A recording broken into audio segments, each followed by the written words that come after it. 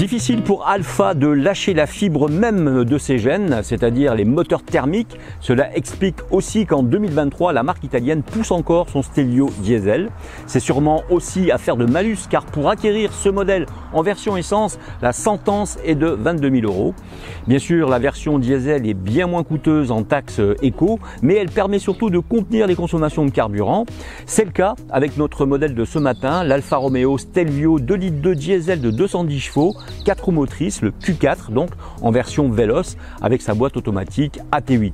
Le SUV italien vient de subir un léger lifting en adoptant des optiques triples façon tonalée que GT Mag a essayé pour vous il y a quelques semaines. Il modernise également son instrumentation numérique. Cela fait suite à d'autres modifications intervenues en 2020, lors desquelles il avait gagné un système multimédia et des aides à la conduite au goût du jour.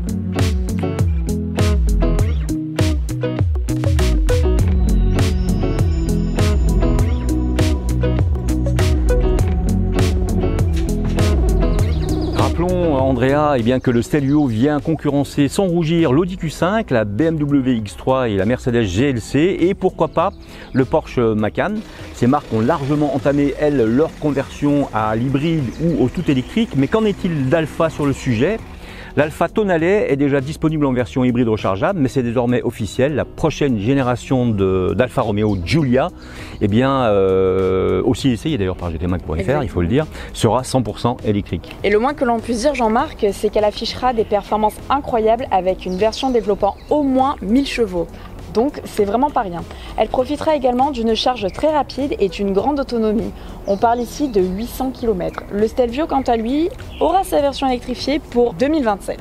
2035, ce n'est pas encore demain, il reste encore 12 ans pour profiter des derniers moteurs thermiques. Retour sur notre modèle de ce matin, ce SUV Stelvio Alfa Romeo nouvellement arrivé en Martinique.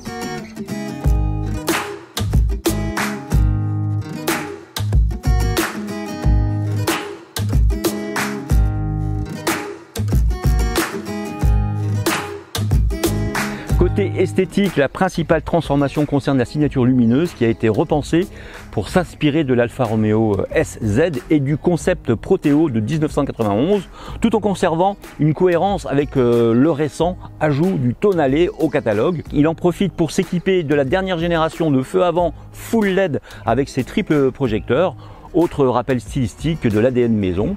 De légers ajustements également euh, ont été apportés au motif de la calandre et aux prises d'air du bouclier. Le reste de la voiture demeure inchangé par rapport à la version précédente, absente sur notre marché jusqu'à ce jour. La partie arrière reste identique, elle, mais il convient de noter une légère euh, partie sombre, peut-être teintée, euh, dans le traitement des feux arrière, les distinguant ainsi de ceux de la Giulia, qui sont plutôt transparents. Cette touche confère au SUV une griffe encore plus marquée et donc facilement reconnaissable sur nos routes. Avec une longueur de 4,69 m, une hauteur de 1,67 m et une largeur de 1,90 m, les proportions du Stelvio expriment une réelle compacité. Le style extérieur du Stelvio unifie à souhait tous les marqueurs qui ont fait l'histoire de la marque.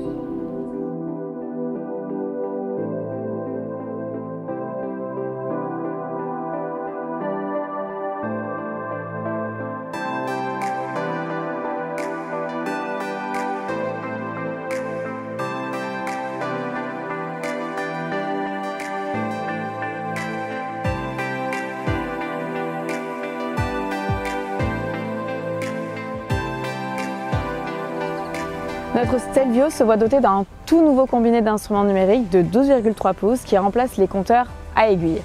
Ce nouveau tableau de bord numérique offre plusieurs configurations baptisées Evolved, Relax et Heritage. Cette dernière évoquant les modèles historiques de la marque italienne. Le tableau de bord numérique est associé à un écran tactile complet et plutôt convivial, tout comme la qualité perçue qui est satisfaisante à la fois visuellement ainsi qu'au toucher. Les matériaux utilisés sont de bonne qualité et les assemblages sont bien réalisés.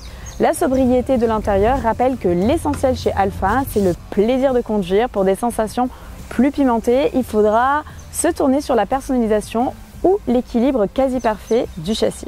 Les passagers bénéficient de 4 vraies places avec un coffre d'une capacité de 525 litres, ce qui correspond à 1600 litres siège rabattu. Cette série comporte un haillon à assistance électrique dont le niveau d'ouverture peut varier selon les 8 niveaux.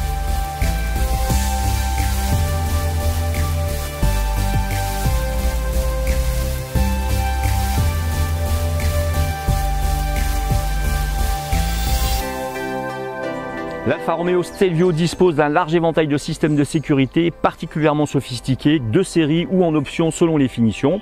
En particulier, il faut citer le système de freinage intégré Integrated Brake System, euh, l'IBS, innovant système électromécanique qui combine le contrôle de stabilité ESP avec le traditionnel servo-frein pour assurer une réponse instantanée au freinage et des distances d'arrêt record. Également deux séries, un système anti-collision, le freinage autonome d'urgence et de même le régulateur de vitesse adaptatif.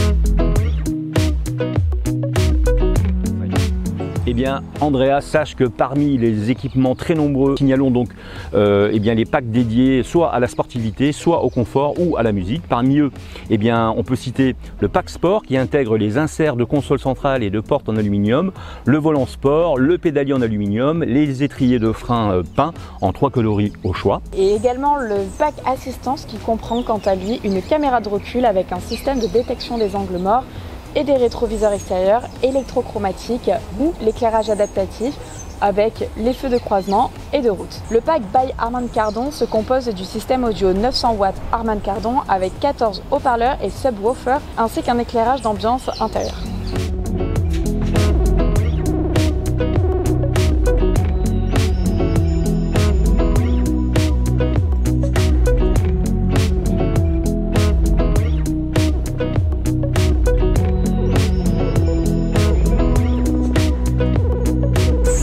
La version essence est dotée du nouveau moteur 2 litres de turbo essence 4 cylindres tout aluminium, il est associé à la transmission intégrale Q4 et à la boîte de vitesse automatique à 8 rapports. La motorisation diesel propose un bloc de 4 cylindres de 210 chevaux propulsé par les 4 roues du véhicule. Il s'agit ici du tout premier moteur diesel de l'histoire Alfa Romeo à être construit entièrement en aluminium. Son turbocompresseur sophistiqué à géométrie variable et commande électrique assure des temps de réponse extrêmement réduit au bénéfice de l'efficacité et de la souplesse. Il soumet de ce fait un couple élevé de 470 Nm à 1750 tours par minute, une vitesse maximale de 215 km/h et un 0 à 100 km parcouru en 6,6 secondes. Dans notre essai de ce matin, notre version Véloce, nous bénéficions d'un système Q4, soit les 4 roues motrices.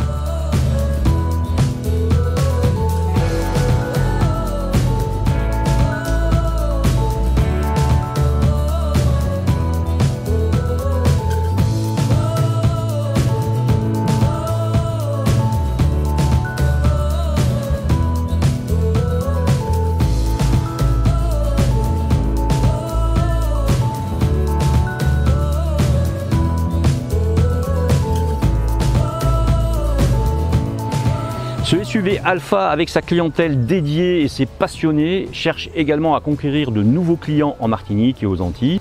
Il a quelques arguments face aux concurrents quasi uniformes, très usités par les consommateurs des modèles premium. Les lignes sveltes et sportives du Stelvio lui confèrent une élégance latine incontestable et apportent de la fraîcheur sur le segment. La position haute convient, aidée euh, par une très bonne tenue sur nos asphaltes, euh, une direction sans faille et des suspensions réactives. Andrea.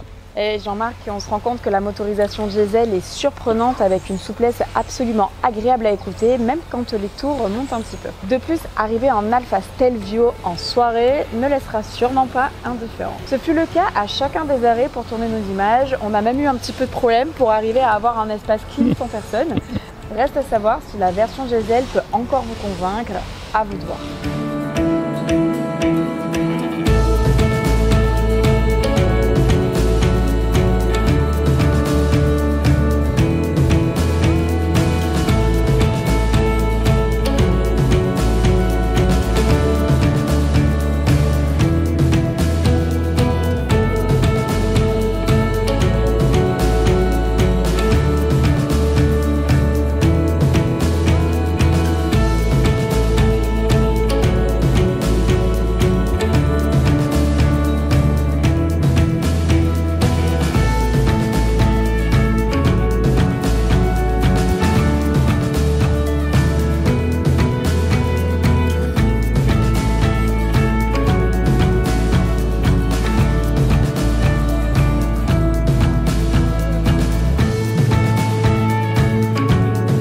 Donc Jean-Marc, c'est fini pour cet essai d'aujourd'hui avec le Vélos d'Alfa Romeo. Merci à Sodiva pour ce superbe essai.